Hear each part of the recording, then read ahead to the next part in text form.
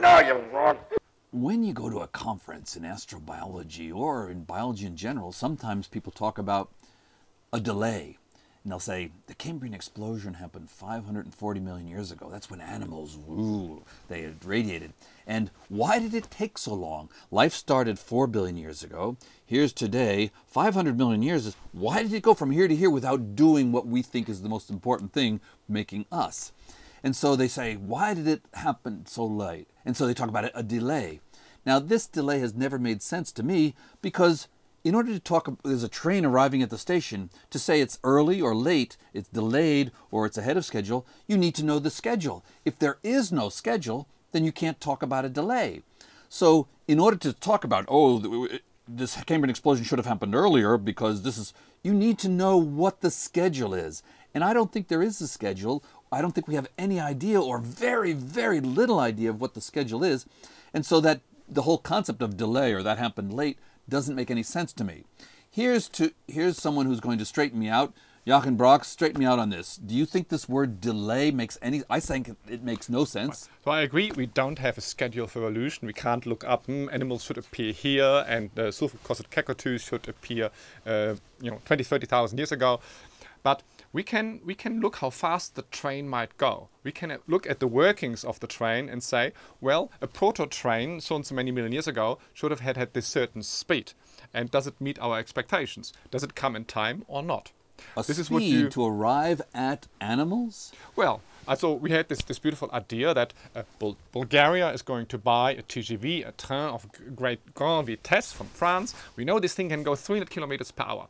Now you put it on a Bulgarian railway track and you're standing in the capital city and you're waiting for the train to arrive and you, well, you think it should go 300 kilometers per hour, but it's not coming, it's not coming, it's not coming. Finally it comes and you compute it, it only went 30 kilometers per hour. And you think, wow, what delayed this train? It didn't go as fast as it should have. Maybe, now you can come up with a hypothesis, maybe there was problems with a, with a railway track. Wait, wait, wait, wait, wait, but to say it didn't go as fast as it should have, the whole idea, the whole word should have means you already know how fast it goes. Well, so that means if you, had, if you had other planets yes, right. in which, oh, this evolved into uh, animals after 3 billion. This over here, animals evolved after 5 billion. If you had a whole series and a distribution, you could talk That's about fine. that. But you do not know. For example, English language. No, Isn't it wonderful? I, How long did it take to get English language? I, oh, about 4 billion I, years. Was that early or late? can English... I interrupt you here go because ahead, it becomes nonsense? So that's why I made this analogy. We know that the TGV can go 300 kilometers per hour in France. If it doesn't go 300 kilometers per hour in France in a different in, in, uh,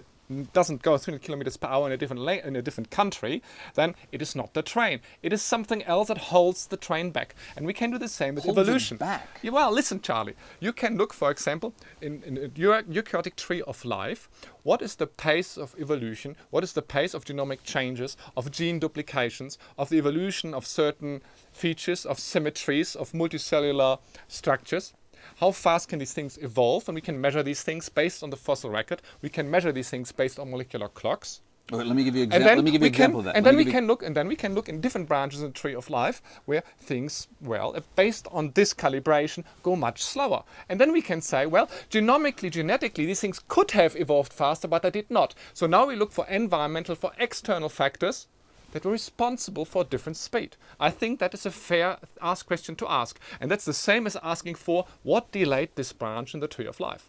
So I, I, I can agree. Well, I'm not sure I even agree with you on the level of which genes mutate. I mean, here we have a set of genes, you know, A, C, G, T. And so we have a string of genes. And it's going to mutate at a certain rate. Now, we know that certain environments make it mutate more or make it mutate less. Matter of fact, we can say that, uh, and, and sometimes, so who cares whether how much it mutates? What is important is what fraction of those mutations ever make it into the next generation. For example, some parts will mutate a lot and no, nobody cares, and so the genes evolve fast. Some parts, the genes are very well conserved. If it changes a little bit, you're dead. So there are very, very, very conserved genes, and there are other genes that are kind of conserved, and others mutate very quickly. So there's a whole range of things there. Now, if you can tell me you can predict a priori which one is fast and which one is slow, then that's the problem. I don't think you can. However, you can say, well, wait a minute, there are conserved, uh, slow moving trains, there are fast moving trains, and then you say, well, let's go a billion years later. Will the same things happen? Well, no. Typically, this conserved one will divide in half. This one will stay conserved, and this one will go all over the place. So there's a whole range of speeds happening all the time. And to say that this multi-speed process, very unpredictable, will then predictably come up with animals after a certain amount oh of time. Oh no, I didn't that's say crazy. about talk about animals, Charley. But- well, that's what the Cambrian give- That's what the delay. you- Wait, wait, wait. The person who said Let me- delayed, who used this word, was talking about animals. Let me let me let me give you an example where I believe the word delay is absolutely appropriate. For example, on the mainland in, in Asia, in Africa, in Europe, uh, small creatures with a with a long nose, proto-elephants became very large elephants. Mammoths, modern southern African uh, elephants, Indian elephants, they became very large. But on islands, for example, on Flores, you have tiny little, very cute elephants that look like a normal elephant, but they are, you know, they're almost. You know, a dog with a long nose. home. or something. Um, and I think it's very fair to ask here, um, why did elephants not become large on this island? And you can come up actually with, with trophic, with nutrient, with energy explanations. Because the small island, ecologically, we can simulate this in computers, didn't allow animal, uh, elephants to become bigger because the population size would be too small and they would go extinct. So there was a physical constraint, which is the size of the island, the amount of food that's available there, that constrained elephants to a certain maximum size. The Florence, the Hobbit, Right, so, human that as have to- well. so wait, that doesn't mean a delay. That just means we have a different situation and different things happen. Um, It's not it I think do with a fair- delay or a schedule. well, but this is just this is now just a fight about the use of the word. Wait, wait, I no, no, no. It's very important because you're talking about how nutrients and levels control what happens in evolution. But you wait, But do you have a schedule for the nutrients? Do you have a schedule you- for the no. nutrients? You do not have a schedule for the nutrients. You ask, you are asking always this question about what do we expect on other planets. One question is, do we expect large creatures on other planets? And I think I gave you just an answer about it. Um, there will be no large creatures if something delays the appearance of these creatures. Wait, wait, no, one thing not- is, for example, the size about of delay. You didn't say anything about delay. You said in one situation you have limitation of ecosystem, another you don't. Now, that's if you knew what the time dependence of the ecosystem was, then you could talk about a delay. But you do not. You do not have, oh, it's going to have a lot of oxygen here. Now we're going to have a lot of nutrient phosphates. You don't have a schedule for the evolution of these things. And if you don't, then you can't talk about a delay. You cannot talk about a delay. I very much can talk about a delay as long as I define it properly, Charley. You're just redefining the word. You need here. a schedule. I'm. T- you said, "Oh, you need a schedule for this." Oh, we have a schedule. No, you made a correlation Charley, between. if you, made a you correlation use between approach, you animals. Will never, you will never, you will never discover any external, non-genomic, non-intrinsic factor that actually has anything got to do with evolution.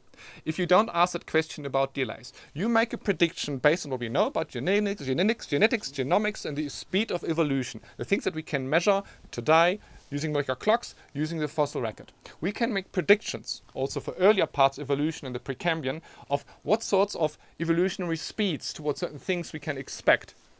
And if you don't do that, you will never discover any external environmental factor. For example, the nutrient contents of the ocean, sizes of ecospace, trophic levels, and so No, on. no, no, no, no. You, what cannot you're saying even ask is, the question. No, you can ask the question. You can make correlations and all the correlations you want, and that's a very wonderful thing. What I'm and you can make causal connections. Like, This caused this. I have no problem with that. I have the problem with saying a priori somewhere else that's very independent with the, whether there's anything associated with a schedule with regard to which things can be delayed or things can be early. But Charley, you, you forget that scientists can do thought experiments. I can I do them all the time. very informed, non-nonsense schedule of what I would expect evolution to do if certain if certain factors are set. And then, If well, I'm disappointed. Well, for example, I assume that the oceans, the last four billion years, the nutrient content, the oxygen content was the same as today.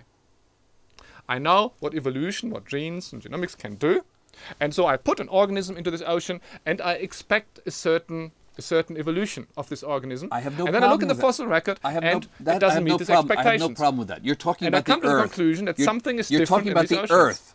The Earth. Some things happened.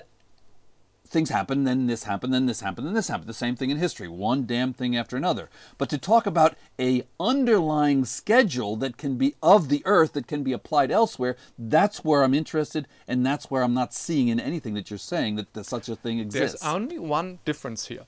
if we extrapolate the knowledge that we have from Earth to a different planet, then the schedule becomes extremely vague because we don't even know that these creatures had the same biochemistry. Is there anything a schedule? What what make, what's the And most I- I fundamental feature? So i- we, we can put up a schedule, but we put, have to put a huge amount of assumptions into it. The first assumption is that life elsewhere is based on Would evolve in the proteins and place. DNA and certain lipids. Uh, it's cellular life in the first instance. All of these things we have to assume. These are very big assumptions, of course. But you can, as an ex scientist, you can make these assumptions, make a thought experiments, and therefore have certain expectations of what happens on a different planet they're of course extremely vague. The schedule of Alpha Centauri will be you wouldn't want to wait for a train there. But but wait a minute. But you- you're right in some sense. But the the the disagreement I had with that person at the conference was he was talking in a specific example of the Cambrian explosion being late. Now, and I okay, so that's nothing to do with other planets. That has to do with Earth. That has to do with his expectations about when a Cambrian explosion should happen. That's correct with his expectations. Now, That's what correct. What makes somebody like that think that the Cambrian explosion should have happened earlier? I have accused him of saying, "Oh, I have no expectations. It's just that I'm an animal. These are great. This should have happened earlier just because I think I'm so great. I should have happened earlier." I think I can answer that question. You might come up with this idea of the Cambrian explosion is late if you look at the eukaryotic tree of life. If you the tree that you've shown earlier, you show this very bushy tree. It is not a tree that has the same density of branches everywhere along the stem. There seems to be bursts of branches. And in between, there seemed to be a lack of branching in the tree. And you might ask, wow, why is suddenly everything branching here and nothing is happening here? That doesn't look like that in something intrinsic within these organisms doesn't allow them to branch. It looks like there could be some external factor, a lack of nutrients, for example, that made the tree look less bushy in different Wait, wait, parts wait, and regions stop, of the stop, tree. Stop. Let me stop you there. Yeah. Did he have? Is there some type of increase of nutrients or increase of oxygen at the Cambrian explosion that he thinks should have happened a billion years earlier? No, so that is a misunderstanding of the use of the word delay. Um, we use the word delay if we talk about factors that are external to the organism itself, ecological, nutrients, and so on. Just imagine, for example, astronomically, the sun suddenly got 90% of more of useful energy pumped out exactly 550 million years ago. Then you would have such an external factor would explain suddenly huge energy flow that would allow evolution to do new things because there's simply more energy available to do new things. That would be such an external factor, and then you would talk about delay. Something delayed. Well, well, wait a minute. this Stop, stop, stop. It would be an external. It would be an external factor if life then said, "Oh, with all this energy," and there would be a correlation between the external energy and this life. Now imagine that there was this Yes. a flowering of photons, and then nothing happened. Nothing happened, and then you would say, "Oh, by the way, it." Uh, Oh, and then whoop! It did. It, did uh, radiate. Then you say, "Oh, it was delayed from my expectation." But your expectation was kind of maybe crazy. But of course, you know, there's lots of different hypotheses about the Cambrian explosion. Many of them mutually exclusive. Only one, if any, can be right, and the rest is of course crazy. All these schedules that people are drawing are wrong. But that's exactly what science is. You draw up hypotheses and then you test them. And this is exactly what lots of scientists do because they're really perplexed about this delay. Many scientists believe What that delay? What delay? the the appearance the appearance of large of, of in principle of an arms race with di- different organisms that try to eat each other. They, why did the Cambrian explosion happen so early? That is- Isn't that the same question No, of why that- it happened so That late? is the same question, and it's just as justified. I mean, it's not justified. It's just putting it differently. It's but that means it's not justified because we don't have a schedule. Therefore, you cannot talk about delay or being early. No, it just depends on what schedule you come up with. But he does. What? So, what is the schedule that he has come up with to make him say it was delayed? That's the thing I don't example, understand. uh, the last common ancestor of all eukaryotes, based on molecular clocks, maybe appeared between 1.7 and 1.4 billion years ago. Okay. This creature, and we can actually reconstruct it based on modern genomes, was incredibly complicated.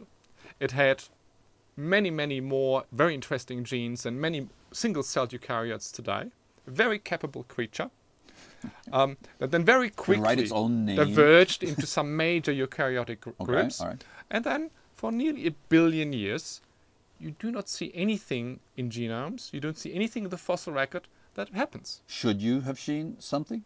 Should you have seen something? That is exactly the question. This question that you say, should we? Other people express as there seems to be a delay. Wait a minute. That means Because they okay. say, I'm going to yes, they should assume that genes mutate and get selected for and produce variation, var- disperse, disparity at a uniform level. That's what you're saying. That's some. That's a good assumption. Here is a very complicated organism that is as complicated as the human cell today, nearly. And then we look in the fossil record, we look cells. at genomic notice you said evolutions, human cells? nothing happens, nothing happens, nothing happens for a billion years, and suddenly What do you it's mean boom, happens? and we have all animal phyla within 20 million years. You you That's could have had lots of happen, lots of happen, lots of happen, and it all went that, extinct. that picture, a tree that looks like that, a little, little thin, thin stem, and suddenly, boom, when you get this enormous bushy tree, that looks like something you, needs an explanation. You right? get a bushy tree in the fossil record because you have hard parts that come about. Well, to but say that, hard parts No, now no, were no, hard no, parts delayed or were hard parts Charley, early? That is a total misunderstanding. While I said that the Cambrian explosion, in the first instance, the name comes from an observation of the fossil record that these hard parts appear.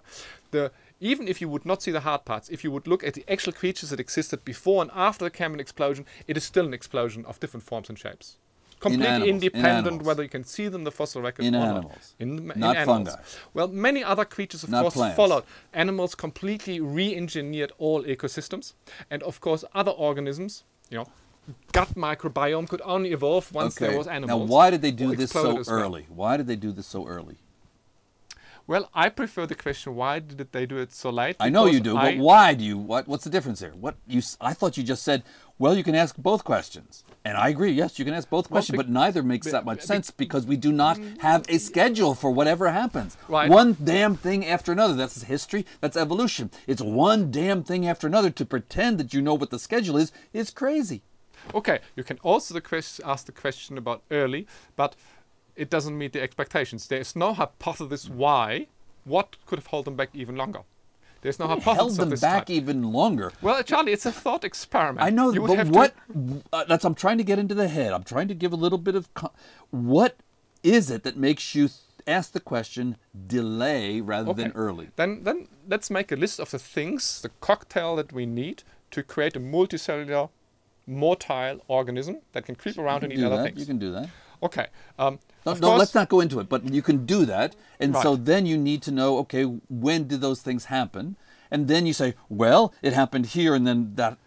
Right, but you have no idea about here- why here- it should be here- now rather than and- later. And, or now earlier. we look at the different ingredients, and so far, scientists, based on some information, thought that all of these ingredients actually are there. Nothing seems to be missing. And genomically, the creatures should be able to do certain things, but they don't. And so, therefore, we talk about a delay. If we had a different scenario, for example, that one ingredient, based on geologists, was missing until just 5 million years ago, then you would say, wow, despite this missing ingredients, they came 500 million earlier. Then we would talk about why did they come? Why did the train go faster than we thought it would? But that's not the case. Scientists thought all ingredients are there, and still for an entire billion years, bloody, they're not doing anything. And that's why we talk about the delay. It's totally justified. I think it's a complete bias hogwash. It's I've heard it many times applied to many things, and they're usually associated with something being human. Said, why did it take us four billion years to get conscious? I mean, we, it should be No, such that, a wonderful thing. a It should be earlier. that's, of course, a why totally did it different take? question. Why did the Cambrian explosion take so late? Why did eukaryotes take so late? There's a the transition between Charley, prokaryotes Charley, and eukaryotes an is so enormous, enormous, and we are difference. eukaryotes. And you know what? Bacteria could You become can't stop him. If he, if he doesn't like a word, he redefines it and he fights the rest of his life No, against it's just that I've heard the Charley, word delay so I- many can times, I make and a it all stop- talks stop about here? coming to us. All talks Charley, about coming. It's just There's a a huge bias, difference bias, between animal bias. evolution and the evolution of consciousness because we don't have the slightest idea what um, what the niche is, what the benefit need, of all you consciousness need is. is this, The this, and this. A cranium, you know, probably four legs. we have a legs. very, very good idea why creatures become multicellular. Oh, but not why become they conscious. Baloney. So making a schedule, no, that's- train schedule for consciousness. We don't even know. We you can talk about- we can make talk about multicellularity. Train schedule for Mars, Charley. That would be just as good. I completely agree with you. Talking about delay as consciousness is concerned, yeah, we don't know anything. We can't even start Really? to So you're happy with the word But delay when it comes to Cambrian explosion, Yes, and you carry out you carry us as well, but not with absolutely, consciousness. Because here we can Okay. construct a schedule that's not even very bad, and therefore we can actually make a schedule that meets Oh, or not our expectations. you are so benighted. All right, that's.